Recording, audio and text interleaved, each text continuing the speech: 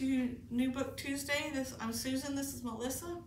We are the Technical Services Department here at the library, and uh, we're going to show you some new fiction and nonfiction and some of our new audiobooks that have come in over the last little bit.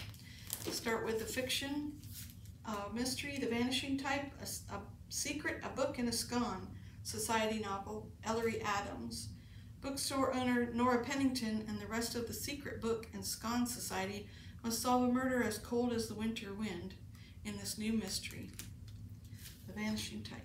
Seven Steeples, a novel by Sara Baume. A stunning novel about a couple that moves with their dogs to the Irish countryside, immersing themselves in nature and attempting to disappear from society. Seven Steeples. I'll Be You, a novel by Janelle Brown. Two identical twin sisters and forever child actors have grown apart until one disappears and the other is forced to confront the secrets they've kept from each other in this twisty suspense novel. I'll Be You, Janelle Brown. New Davis Bunn, The Emerald Tide. Breathtaking new novel about letting go, taking chances, and embracing the healing power of love. Just when he thought he'd buried his past and was moving on, he discovered the art of falling in love again.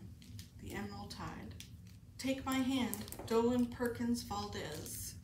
A searing and compassionate new novel about a young black nurse's shocking discovery and burning quest for justice in the post-segregation Alabama. Take My Hand. An Unlasting Home, My Al Nakib. The debut novel from award-winning short story writer, a richly imagined saga spanning Lebanon, Iraq, India, and the United States, and Kuwait that brings to life the triumphs and failures of three generations of Arab women. An Unlasting Home. New uh, Janet Dailey, part of the new Americana series, Hope Creek.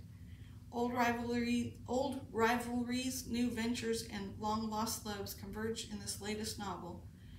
In uh, Janet Dailey's new Americana series, is the daughter who once walked away from the dark chaos of her childhood returns to her low country hometown, hoping to put the past to rest. Hope Creek. It's a new western, The End of Nowhere, Patrick Dearen. It's 1917 and the Mexican Revolution has the Big Bend of Texas aflame but the firestorm is no greater than the one inside newspaper reporter Jack Landon. The End of Nowhere. Bitter Roots by Ellen Crosby, a wine country mystery.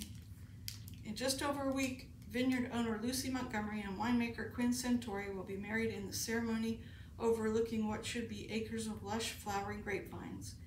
Instead, they are confronted by an ugly swath of slowly dying vines and a nursery owner who denies responsibility for selling the diseased plants. Bitter Roots. The Odyssey, a novel by Lara Williams. Ingrid works on a gargantuan luxury cruise liner where she spends her days re reorganizing the gift shop shelves and waiting for the long-term guests to drop dead in the aisles. In her, on her days off, she disembarks from the ship, wasting the hours aimlessly following tourists around, drinking the local alcohol, and buying clothes she never intends to wear. It's Not a Bad Life, The Odyssey. Next one, Children of the Hill by Jennifer McMahon. From the New York Times bestselling author of The Drowning Kind comes a genre-defying new novel inspired by Mary Shelley's masterpiece Frankenstein that brilliantly explores the eerie mysteries of, of childhood and the evils perpetuated by the monsters among us. Ooh. Children on the Hill. Last one of the fiction, uh, Country Born by Lil Linda Lael Miller. This is number three in a uh, series. Rancher and military veteran J.P. McCall loves simple pleasures, the satisfaction of working his family's land, the freedom to come and go as he pleases. But ever since his two closest friends have married and started families of their own, J.P. realizes what he's been missing country born. So in the nonfiction to start out with, we've got Fairhope, 1894 to 1954, the story of a single tax colony. That's from Paul E. Alyea and Blanche R. Alyea. This is um, an older book, but it's actually being reissued with an introduction that's new, and that introduction is from Tennant McWilliams.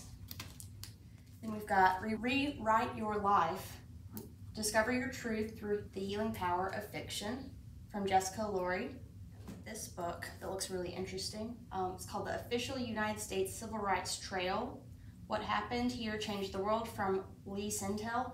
Um, it's just got a lot of like really cool old pictures and it goes um, sort of through the timeline to different locations um, throughout the civil rights history of the 50s and 60s through till today. Then we've got this one called Putin's World, Russia Against the West and With the Rest. That's from Angela Stent. Very timely book. Right. And we've got Chosen, a memoir of stolen boyhood from Stephen Mills. This one's called The Last Days of the Dinosaurs, an asteroid extinction and the beginning of our world. It's from Riley Black. For those foodies out there, um, from America's Test Kitchen, this book's called Boards, Stylish Spreads for Casual Gatherings, Food Styling and Expert Advice by L. Simone Scott. This book um, is called The Man Who Invented Motion Pictures, A True Tale of Obsession, Murder, and the Movies. That's by Paul Fisher. And the rest of these are um, books that we've gotten thanks to our LSTA grant. This one, um, The Many Faces of Art Forgery, From the Dark Side to Shades of Gray, from William Casement. Got this one called The Little Flower Recipe Book, 148 tiny arrangements for every season and occasion. That's from Jill Rizzo. This book's called Artisan Air Dry Clay, The Beginner's Guide to Easy, Inexpensive, and Stylish No Kiln Pottery. We've got um, this of Mules and Mud, the story of Alabama folk pottery, or folk potter Jerry Brown. Yeah, he's famous for those ones with the faces on it. Okay, so for some local art history, got this one for technology, um, iPad for seniors for dummies, another one in that popular series.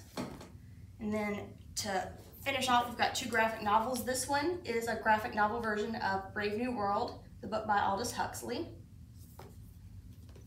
And then we've also got Romeo and Juliet, and that's from the No Fear Shakespeare group. Um, this is their graphic novel version. Now we've got some um, audiobooks to show you today too. Uh, some of them we already, of course, have the book uh, version. Jane Green, Sister Stardust.